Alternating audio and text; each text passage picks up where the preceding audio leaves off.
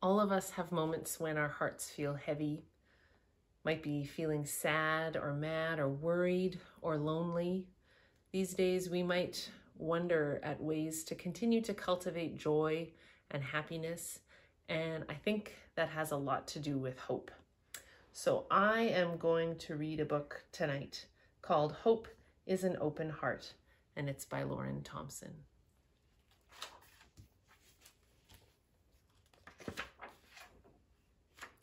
Hope is an Open Heart by Lauren Thompson.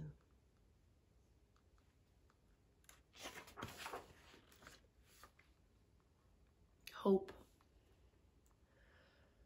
Sometimes hope feels far away, but hope is always there.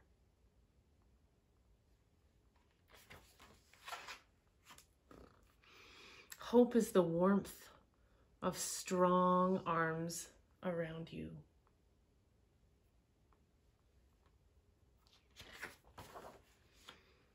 Hope is sad tears flowing, making room for joy.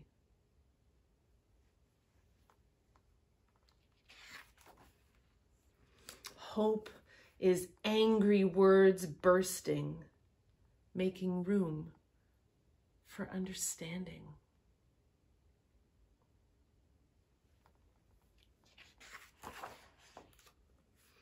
Hope is scared words, asking for help and finding that help is there.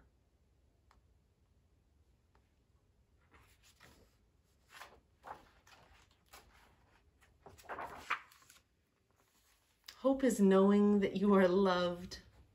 Hope is knowing that you love others.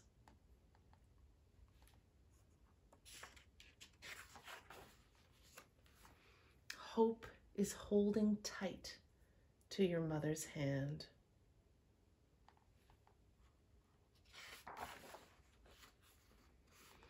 Hope is your father's goodnight kiss. Hope is remembering his kisses when he can't be there with you.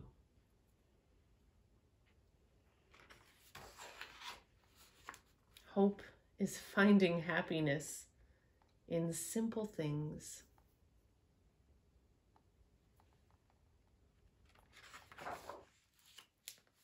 Hope is daring to do something you've never done before.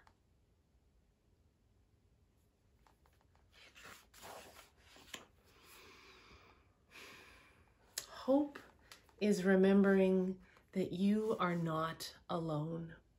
Many others feel just the way you do. Many others care.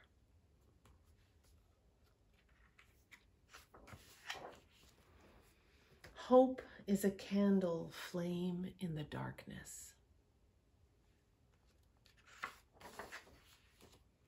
Hope is the clear sky above the gray clouds.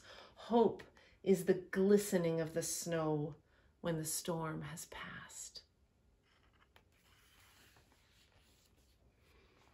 Hope is a heart that is open to the world around you. Hope is knowing that things change and that we can help things to change for the better.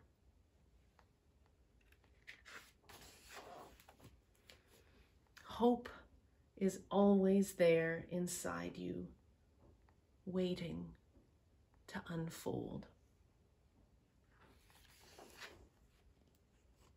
There are all the stories.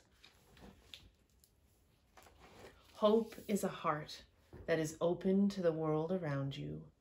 Hope is knowing that things can change and that we can help things to change for the better.